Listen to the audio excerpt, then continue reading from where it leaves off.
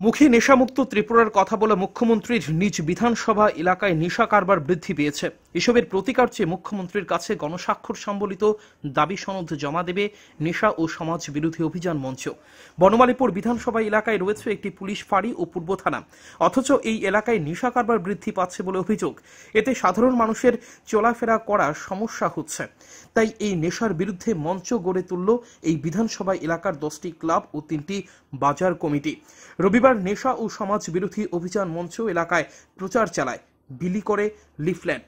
পাশাপাশি মুখ্যমন্ত্রীর কাছে জমা দেওয়ার জন্য গণস্বাক্ষরও সংগ্রহ করে। মঞ্চের আহ্বায়ক জানান, কারা এসব কারবারের সঙ্গে যুক্ত, তাদের নাম জানেন, তবে প্রমাণের অভাবে থানায় মামলা করতে পারেন না। যেহেতু এটা নয় নম্বর বনমালীপুর মুখ্যমন্ত্রী এরিয়া, আমাদের বিধায়ক মুখ্যম- মুখ্যমন্ত্রী নিজে।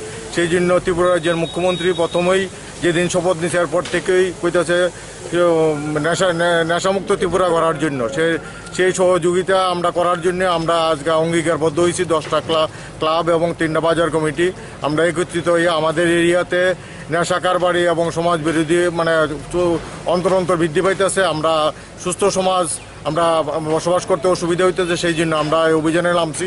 আমরা প্রথম কাজ হলো আমরা মুখ্যমন্ত্রীকে গণস্বাক্ষর নিয়ে আজকে আমরা স্বাক্ষরে ভাই আমরা দিতেছি গণস্বাক্ষর নিয়ে আমরা মুখ্যমন্ত্রীকে ডেপুটেশন দেবো। তারপরে মুখ্যমন্ত্রী যা- করার আমাদের দ্বারা নাম দাম সব আছে। কে কী করতেছে আমাদের এরিয়াতে, না এফআইআর করে না আমাদের তো কোনো ডকুমেন্টস নাই। আমরা জানি ধরেন না, আমি করি, রাম করে শাম করে, কিন্তু আমাদের দ্বারা কোনো স্পেসিফিক ডকুমেন্টস নাই। মঞ্চের অভিযোগ যদি সত্যি হয়, তাহলে খোদ মুখ্যমন্ত্রীর বিধানসভা এলাকায় পুলিশ সোর্স মারফত কেন ব্যবস্থা নিচ্ছে না? প্রশ্ন উঠছে, নাকি পেছনে অন্য কোনো রহস্য লুকিয়ে রয়েছে? এও প্রশ্ন উঠছে, কোনো রাঘব বোয়ালের নাম চলে আসবে বলেই কি হাত গুটিয়ে বিপ্লব দেবের পুলিশ?